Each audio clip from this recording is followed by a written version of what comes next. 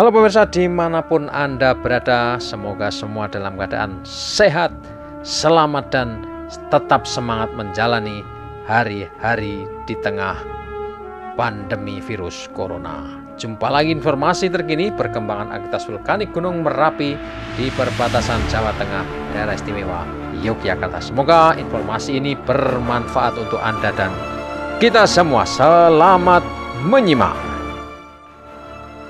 Pemirsa berikut ini kami sampaikan informasi terkini ya.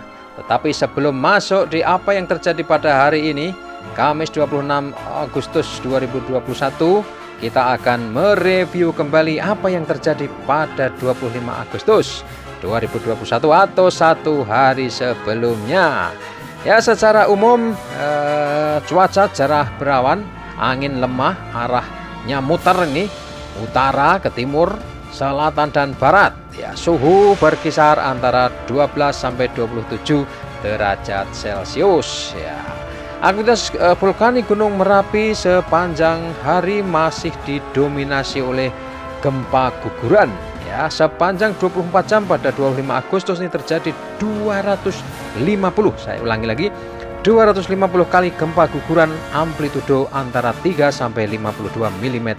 Durasinya 11 sampai 175 detik. Ya, ini cukup panjang nih. Ada gempa guguran yang terjadi cukup panjang dan e, bisa dimonitor pada layar e, eh, CCTV yang ada seismogram dari BPTKG. Ini memang tadi malam ya atau Rabu malam terjadi guguran yang cukup besar hanya bisa dimonitor berdasarkan sinyal seismik yang dipancar luaskan. Kemudian ada 9 kali gempa hembusan durasi 7 sampai 59 detik dan satu kali gempa tektonik jauh. Nah, itu dia yang terjadi pada 25 Agustus. visualnya tidak bisa dilihat dari beberapa sektor terutama dari sektor selatan, barat daya, e, dari babatan kadang-kadang bisa dilihat tetapi lebih banyak berselimutkan awan cukup tebal.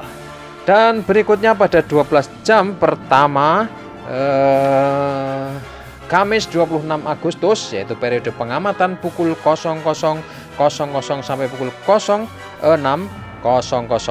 ya ini terjadi serangkaian eh, gempa yang lumayan ya kita coba akan simak eh, masih didominasi oleh eh, gempa guguran ya um,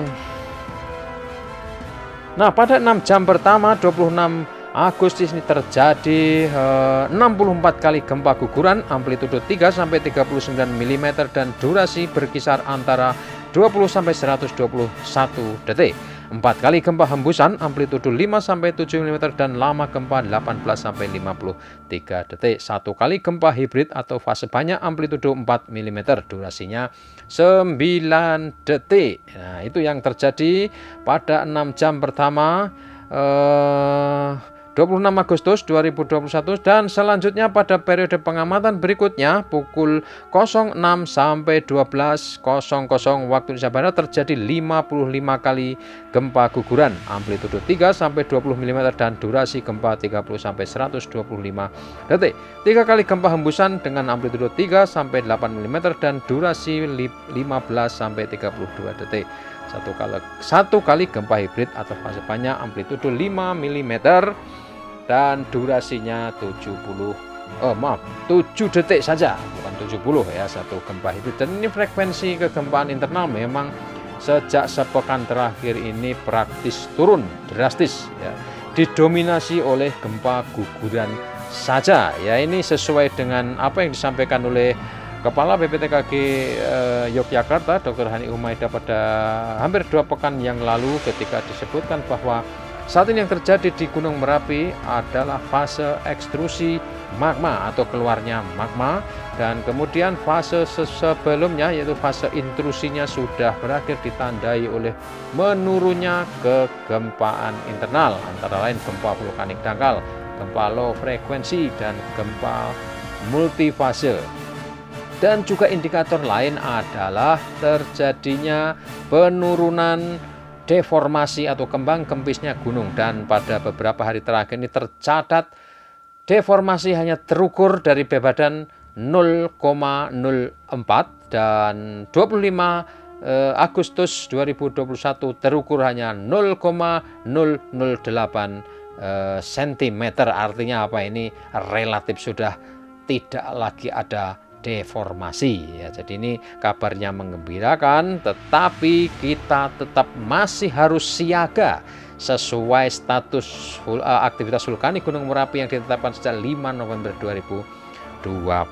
Jadi uh, walau kegempaan internal menurun, kemudian deformasi tidak ada lagi, tetapi sekarang ini bisa kita lihat ya frekuensi gempa guguran masih sangat tinggi ya 250 dalam satu hari atau 24 jam ini termasuk tinggi dan ini memang dalam beberapa hari terakhir cuaca kurang bersahabat sehingga kita tidak bisa mengamati secara langsung dan cermat eh, apa yang terjadi di lereng Gunung Merapi terutama di sektor barat daya dan barat. Karena memang saat ini aktivitas luncuran atau guguran lavanya mengarah ke sektor barat daya ya, mengarahnya persisnya ke hulu kali Bebeng di sebelahnya hulu kali Rasa ya. Dan monitoring bisa dilakukan secara uh, real time menggunakan perangkat uh, eh, CCTV dan juga perangkat pengamatan lain yang sudah didigitalkan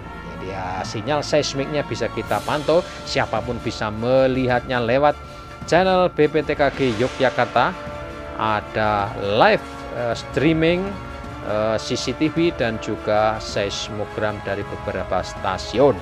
Demikian informasi yang bisa sampaikan uh, untuk pemirsa semoga bermanfaat dan salam tangguh. Sampai jumpa di edisi berikutnya. Jangan lupa like, komen, dan subscribe.